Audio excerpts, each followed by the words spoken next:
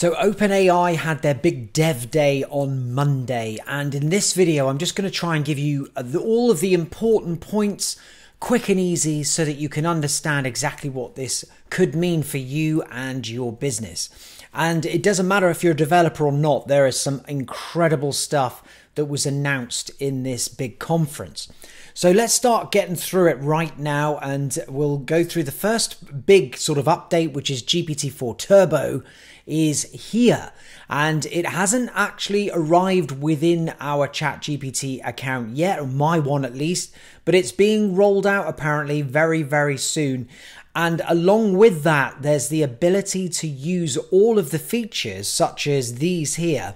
These, uh, like the browse with Bing, the advanced data analysis plugin, that all within just the one chat GPT-4 Turbo. So no more switching from one thing to the other, which you probably have already realized can be quite annoying sometimes if you if you use chat GPT.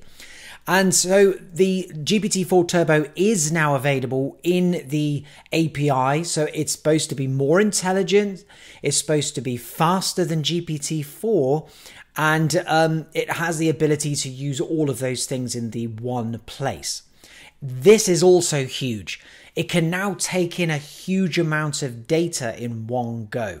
We're talking like 300 page PDF, for example, can now be imported and GPT-4 Turbo will be able to cope with it, but also apparently do a better job than what GPT-4 could have done as well. So that's a, a huge issue for a lot of people is not being able to upload big documents and have it analyze.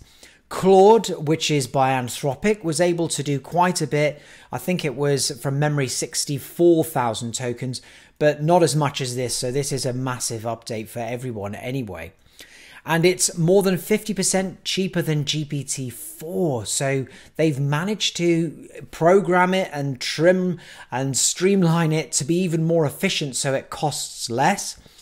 The April the 2023 is now the cutoff date. So previous to that, it was September 2021. 20, uh, Sam Altman also said that it frustrated them as much as it did uh, Chat GPT users like ourselves, which was good to know that it bugs them too. So hopefully they're going to bring it up to date. That is their goal: is to bring it right up to date.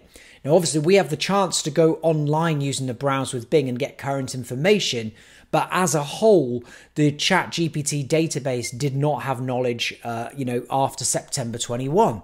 So now getting there, April 23. This video has been done in November, so we're not too far behind. Next up is the improved performance from GPT-4. It is a lot faster, as I say, so that is fantastic, hence the name Turbo. If you remember, we had GPT 3.5 and then that went to Turbo as well. Uh, it can provide images alongside your text input prompt via the API. So that is uh, pretty amazing.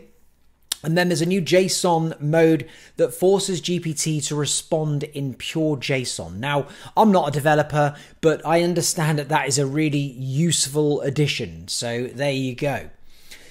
So th- those are the GPT-4 Turbo things that came out. So GPT-4 Turbo is going to be fantastic. And I guess at some point the next update will probably be GPT 5.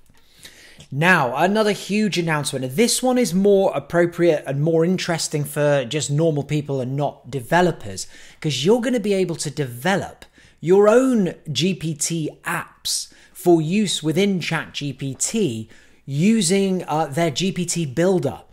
And you can build your own custom GPT that is uh, designed to do one specific thing. And, you know, that could be like helping you become a better writer or helping you with SEO or any of that stuff. So that's going to be amazing. And I suppose the biggest thing is, is that you're going to be able to uh, have this in an app store. So there's going to be a GPT app store that you can sell these apps in. Um, and so you don't even need to use coding now to make this. You can literally, um, Sam Altman did a demo where you literally just talk and say, right, I want to build my uh, GPT app to do this, this, and this. And it starts building on the right hand side of the window, and you can actually see it being done. And then once it's ready, you can just put it into the App Store and other people can use it if you want to do that. Uh, and then enterprises are big companies, they can make their own organization, uh, specific custom GPTs that aren't available in the marketplace and use it within their own company. And to begin with, they're giving us two uh, custom GPTs kind of ready to go within uh, ChatGPT.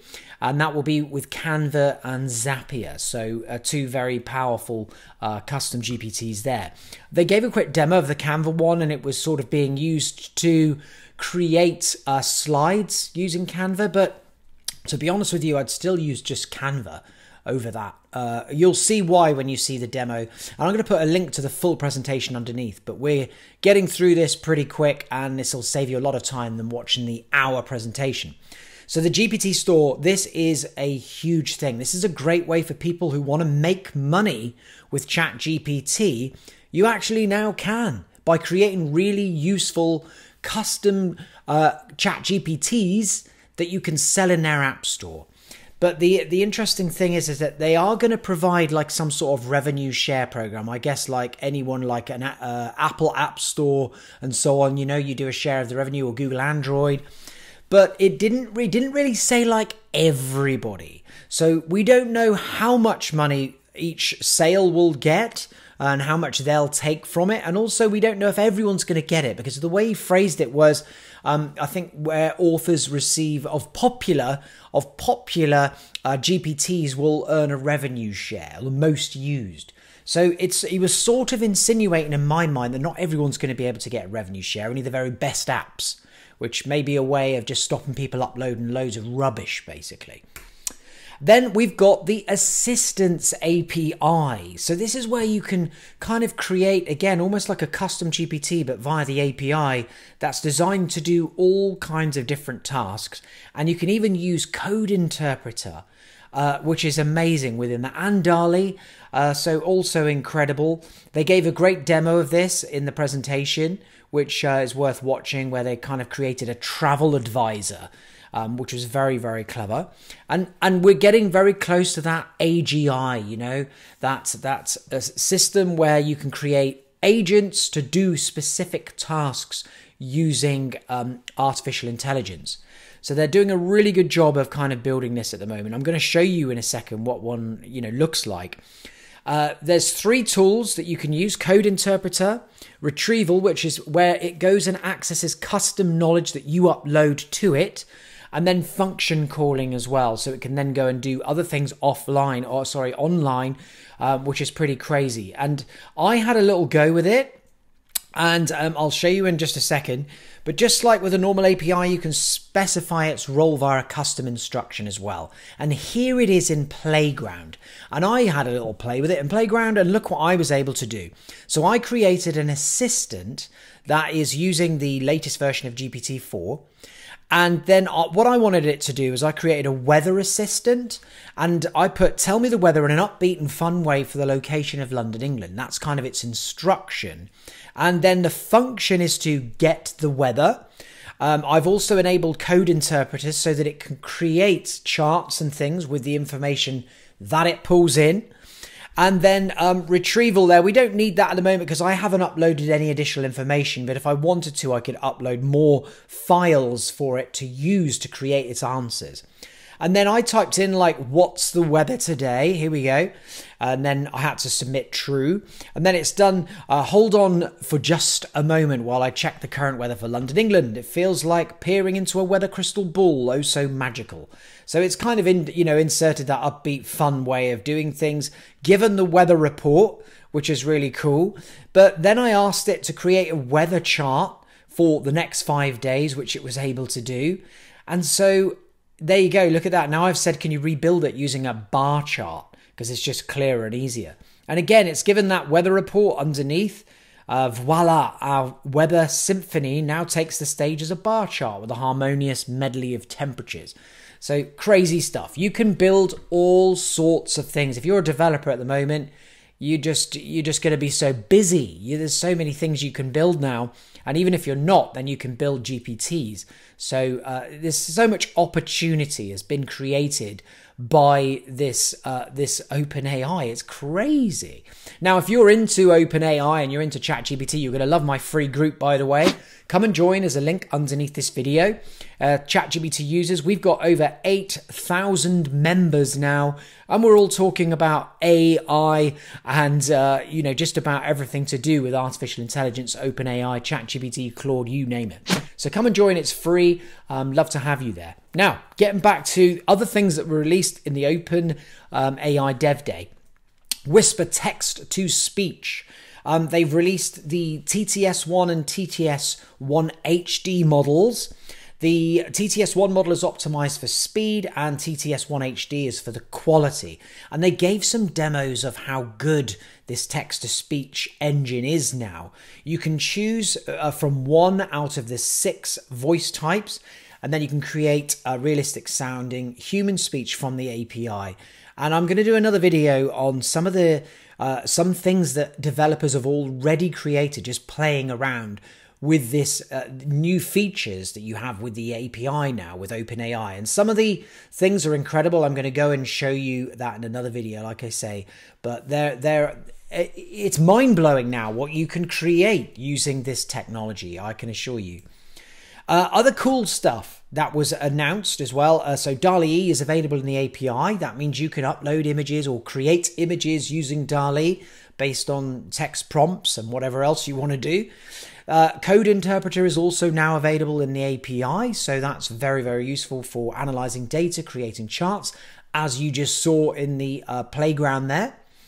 And then GPT 3.5 and 4 costs have all been reduced in an effort, again, to sort of help developers and encourage developers to start creating and using those two technologies.